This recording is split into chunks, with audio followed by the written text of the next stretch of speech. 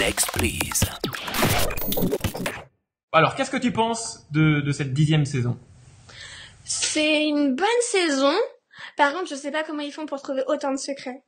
Mon dieu. Est-ce que t'as vu, il y avait, ça parlait de triche? Est-ce que tu crois Ouais, j'ai que c'est entendu que ça possible de... de triche, hein, j'ai entendu tout ça, mais mais c'est quand même bizarre. Il y a, il y a, il y a plein de, de petits trucs qui sont bizarres. Comment tu peux trouver le secret de Thomas alors qu'il est le plus gros secret de l'année? Après, je peux pas forcément dire qu'il y a de la triche parce que je ne sais pas et je peux, je, je préfère pas m'avancer là-dessus. Mais non, ça va. Franchement, ça va. C'est c'est une saison, mais je trouve, je sais pas, il y a, y a beaucoup de faux. Il y a, je sais pas, je les sens pas sincères.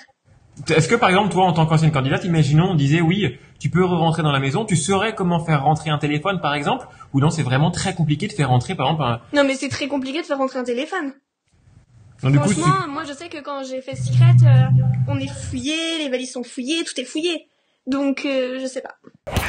Next, please.